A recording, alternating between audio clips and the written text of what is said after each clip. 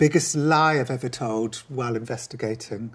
I remember being surrounded by Nazi skinheads who asked me if I was Jewish, and I lied then. I said I was Church of England. Uh, this is who I am. I'm a writer, and I'm going to answer questions about my career. Most unexpected place to find a story. I was on the set of Stepdaughter Cheerleader Orgy, uh, a porn film. The reason why they call their films things like Stepdaughter Cheerleader Orgy is because of search engine optimization. You need to put like the most searched terms in a porn title these days. So I said, well, are there anybody who um, who isn't searchable, who kind of slips through the cracks? And the answer is customs, custom porn, where if you've got a porn film that you really want to see, but it's so weird, nobody will ever make it, you can now commission professional porn people to make this porn film just for you. So in the butterfly effect, I then went off to find the most amazing customs. Craziest thing you've done while investigating a story. I'd heard that there was a secret club called Bohemian Grove where the rich and powerful have a mock human sacrifice. So I thought that can't be true. So I snuck in there with Alex Jones, the conspiracy theorist. And sure enough, it was true. Alex then went back and made a video called Dark Secrets Inside Bohemian Grove, in which he told the world that we might have witnessed an actual human sacrifice, which we hadn't. And that adventure then set Alex on the path to conspiracy superstardom. Unluckiest moment of your career. I went UFO hunting with the pop star Robbie Williams, and we kept on just missing alien encounters. People kept like saying to us, Oh, you know, if you'd been here like two hours earlier, two extraterrestrials were biting each other on the side of the road, and you just missed it.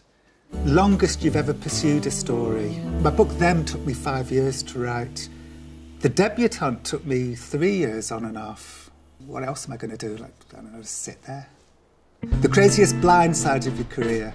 That's the time I was chased through Portugal by the private security guards of the Bilderberg Group, a secretive organisation that conspiracy theorists believe secretly rule the world. The good news is if you know you're being followed, they're probably just trying to intimidate you and the dangerous ones would be the ones that you don't know are following you. That was scant comfort because what if they were the dangerous ones and I just happened to be naturally good at spotting them? Most expensive journey to do a story. I don't know. I'll, I'll go around the world for like a line, seriously, for like for like a paragraph. There's no stopping me.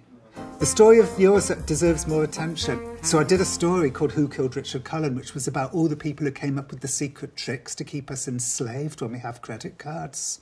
And it was such like an important story, and, and because it was about the credit industry, no one cared because it seemed like boring. Best interview you've ever gotten? I liked going to Florida to meet. When I was writing the psychopath test, I really wanted to meet people who had been described as corporate psychopaths. So I wrote to him to say that I believe, you know, I believe that you may have a very special brain anomaly uh, that makes you interested in the predatory spirit.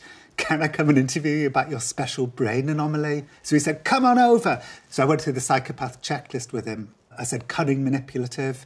He said, That's leadership. And he redefined each of the items on the psychopath checklist as business positives. I loved Story that made you the most emotional. I really love my Audible show, The Last Days of August, about a porn star who took her life. But I started making that show when she'd only been gone for like a month, a couple of months. And I, I guess I wish that I'd maybe waited six months or a year and done it then. I was trying to figure out what led her to take her life. And to do that, it meant I had to talk to people who had made mistakes, who had done things wrong. But that didn't mean they murdered her or anything. It just means that they made human mistakes. It was just too, you know, raw and personal for people. Do you like the sound of your own voice? I think I like the sound of my own voice when people say that they like it. And then I don't like the sound of my voice when people say that they don't like it. This is more like it. Now I feel like I'm on fire. You found your groove, Jon. Yeah. Scariest moment of your career? I've had a few. I was I was outed as a Jew, and Omar Bakri, the guy who was in charge, said, "Look at me with the infidel Jon, who is a Jew," and they all went, "Ah!" And I said, "Well, surely it's better to be a Jew than an atheist." And I heard someone go, "No, it isn't." What's the conspiracy theory that you most believe in? For the longest time, I believed in the Oklahoma City bombing conspiracy theory that Timothy McVeigh had help from this mysterious group of men who would meet at this eccentric white separatist church called Aryan Nations, and that the government covered it up. And one of the things that I wanted to do in the debutante is try and figure out whether that conspiracy theory is true or not. Silliest you've ever felt in an interview, like every interview I've ever done. When you listen back, oh my God, I don't think my brain is working quite as well as it normally That's does. right. Least favourite story you've told?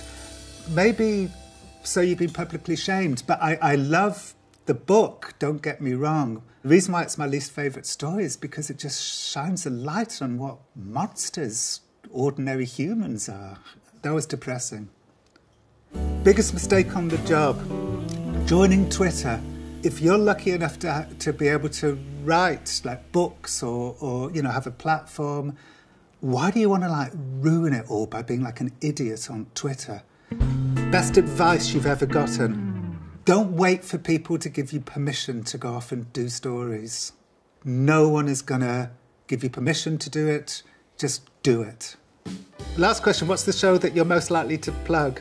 It's my new show for Audible. It's called The Debutante. So, yeah, that's, that was a lot of career extremes, and I'm Jon Ronson.